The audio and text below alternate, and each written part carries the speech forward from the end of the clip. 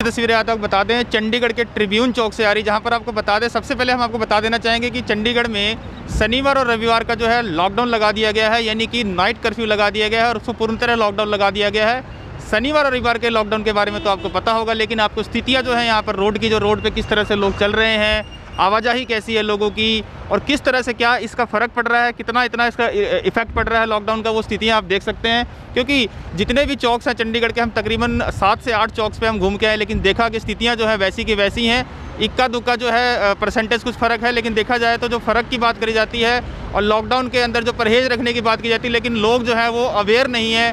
लोग जो है कहीं ना कहीं इसको बड़ी गंभीरता से नहीं ले रहे वही तस्वीरों में आपको दिखाते हैं, आपको सबसे बड़ी चीज़ चीज़ हम आपको बताना चाहेंगे कि जितने भी चौकस हैं, वहाँ पर पुलिस प्रशासन की तैनाती की बात की जाती है तो पुलिस प्रशासन जो है किसी भी चौक पर तैनात नहीं है, जिससे कि लोगों को भय लगे या लोगों को लगे, डर लगे कि हाँ लॉकडाउन लगा है और चंडीगढ़ में जाएँगे तो एंट्री हमारी अलाउड नहीं है। लेकिन बावजूद इसके, आप स्थितियाँ देख सकते हैं, जो चौकस के हाल हैं आपको फ़िलहाल हम ट्रिब्यून चौक पे खड़े हैं और वहाँ पे तस्वीरें दिखा रहे हैं किस तरह से जो लॉकडाउन का असर है। क्योंकि लॉकडाउन के असर की बात की जाती है तो लॉकडाउन की जो स्थितियाँ हैं, वहाँ पर आपको दिखा दें इक्का दुक्का वाहन होने चाहिए, लेकिन यहाँ देखी जाए तो वाहनों की जो कतारें हैं, वो लगातार चौक्स पर लगती नज़र आ रही है।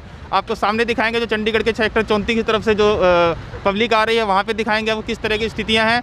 वहीं पर आपको दिखाएँ ट्रिब्यून चौक का जो लाइट्स के पॉइंट है, यहाँ पर आपको दिखाएँगे जो चंडीगढ़ तरफ़ से राम दरबार की तरफ़ जाने की जो रोड है, वो आपको दिखाएँगे यहाँ पर तस्वीरों में किस तरह। वहीं पर जो यहाँ पर जो आसपास के जो छोटे मोटे बच्चे होते हैं दुकानदार जो दुकानदारी करते हैं अपनी मास्क बेचना या फिर जो गाड़ी के सामान स्पेयर पार्ट्स वगैरह छोटे मोटे जो होते हैं बेचने के लिए वहाँ पर कई तरह के बिना मास्क के ही लोग यहाँ पर आ, अपना सामान बेचते नज़र आए। लेकिन पुलिस प्रशासन का खौफ जो है ये ट्रिब्यून चौक पर तो नज़र नहीं आ रहा है। तो अगले हम आपको अगले अपडेट भी देंगे अगले चौक की अपडेट भी देंगे कि वहाँ की स्थितियाँ क्या हैं। लेकिन यहाँ की स्थितियाँ आपको दिखा दी हमने कि यहाँ पर वैसे लॉकडाउन की स्थितियाँ हैं और कोरोना का मार जो है, कोरोना का प्रकोप कम करने के लिए लॉकडाउन लगाया गया है, वरना लॉकडाउन लगाने की स्थितियाँ और लॉकडाउन लगाने के फेवर में कोई भी सरकार, कोई भी प्रशासन नहीं होगा। लेकिन लगाया सिर्फ़ इसीलिए गया कि आप और हम की बच सके।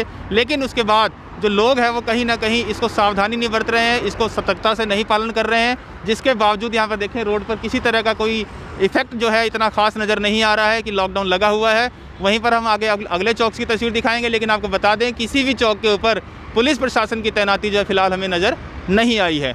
अगले अपडेट के लिए बने रहे हमारे साथ। अगली चौक हम आपको खबर दिखाते हैं। जय हिंद, जय भारत, जय विजय केसरी। अगली तस्वीर की बात करी जाती है, वहीं अगली तस्वीर की बात करें तो सेक्टर 20 का चौक है, चंडीगढ़ सेक्टर 20 का चौक आपको दिखाएँगे। और यहाँ पर भी अगर हम बात करें तो किसी तरह के पुलिस प्रशासन की तैनाती यहाँ पर नहीं है। वहीं पर लॉकडाउन की स्थितियाँ बनी हुई हैं। लॉकडाउन जो है प्रशासन की तरफ़ से लगाया गया है। शनिवार एतवार का जो लॉकडाउन लगा हुआ है, लेकिन बावजूद उसके कौन आ रहा है, कौन जा रहा है, कौन कहाँ जा रहा है, कौन क्यों जा रहा है, कोई बेवजह जा रहा है, नहीं जा रहा है, लेकिन इसकी पूछताछ करने के लिए प्रशासन यहाँ तैनात नहीं है। तस्वीरों में दिखाएँगे गाड़ियाँ जो है, किस तरह से आवाजाही गाड़ियों की लगी हुई है। वहाँ पर किसी तरह की, मैं अपने कैमरा पर्सन से पीछे पीछे बोलूँगा दिखाने के लिए एक बार।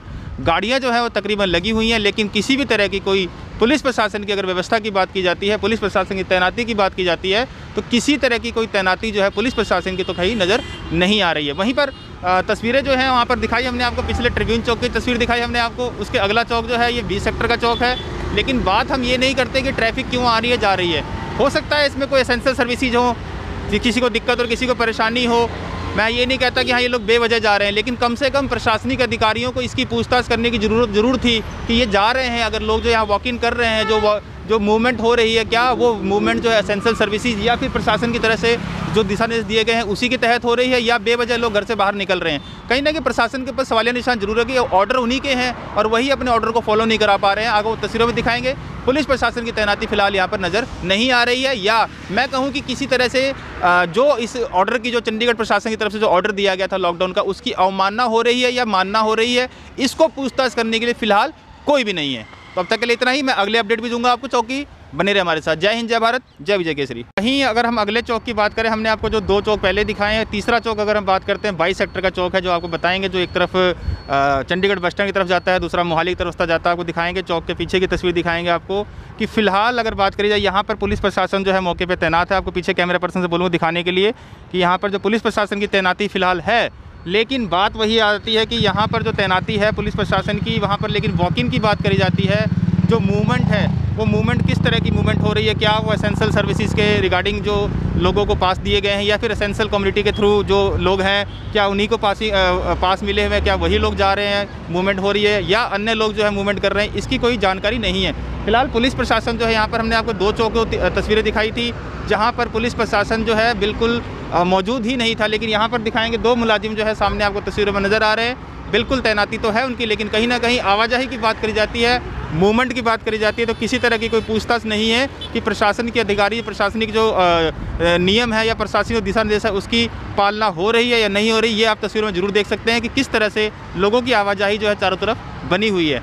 हम ये नहीं कहते कि ये जो आवाजाही है बेवजह है, हम प्रशासन के ऊपर सवाल भी नहीं उठाते कि हाँ ये बेवजह आवाजाही है और प्रशासन इसको देख नहीं रहा है, लेकिन हम ज़रूर ये पूछना चाहेंगे, क्या ये लोग जो हैं, इनको पूछताछ करने की अथॉरिटी है या नहीं कि ये लोग जो है कि एसेंशियल सर्विसेज़ के अंदर आते हैं या नहीं आते या बेवजह लोग जो कहीं घूम रहे हैं या वॉक कर रहे हैं, कम से कम ये पूछने का अधिकार किसका है? क्योंकि ये किसी के चेहरे पे तो लिखा नहीं, किसी गाड़ी पे तो लिखा नहीं, किसी के व्हीकल पे तो लिखा नहीं कि ये जो है असेंशियल सर्विसेज़ में आता है और इसको असेंशियल सर्विसेज़ का पास मिला हुआ है।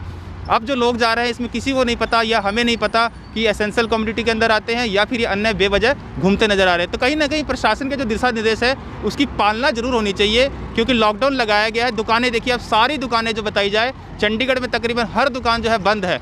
दुकानें सारी बंद है, व्यापार सारे बंद है, लेकिन बावजूद उसके अगर देखा जाए तो जो वॉकिंग की बात करी जाती है, वो वॉकिंग जो है फ़िलहाल चलती नज़र आ रही है। वहीं पर अगर बात करी जाती है, व्यापारिक संस्थान है व्यापार है, उन सबको बंद कर दिया गया, जहाँ से दो पैसे की अर्निंग होती है इनकम होती है, उनको बंद करने के बाद और जो लोग, जो मूवमेंट की बात की जाती है, वो मूवमेंट फ़िलहाल बंद करते हुए नज़र नहीं आ रहा है। वो तस्वीर में दिखाएँगे किस तरह से अभी फ़िलहाल पुलिस प्रशासन जो है, वहाँ पर उनके यार दोस्त हैं, शायद हाई हेलो करते नज़र आ रहे हैं। मुझे लगा कि शायद वो पास चेक करेंगे या फिर वो चेक करेंगे कि आप बेवजह घूम रहे हो, लेकिन वो तो दोस्ती निभा रहे हैं।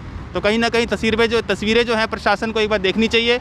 प्रशासन को एक बार ज़रूर इसे इसके ऊपर संज्ञान लेकर अगर लॉकडाउन लगाया है तो पूर्णतः लॉकडाउन लगाने के कारण और जो दिक्कत और परेशानियाँ आ रही हैं, उनके ऊपर भी ध्यान दिया जाए और अगर लॉकडाउन लगाया है तो उसका ठीक से दिशा निर्देश उसका पालना हो सके। हम यही चाहते हैं और हमारा ये किसी प्रशासन के खिलाफ या प्रशासन के खिलाफ की कोई हमारी न्यूज़ नहीं है। सिर्फ़ और सिर्फ़ एक जागरूकता न्यूज़ है हमारी कि अगर लॉकडाउन लगाए तो उसकी पालना ज़रूर हो। तब तक के लिए इतना है। जितना उसे खबर को शेयर ज़रूर कीजिएगा। जय हिंद, जय भारत, जय विजय केसरी।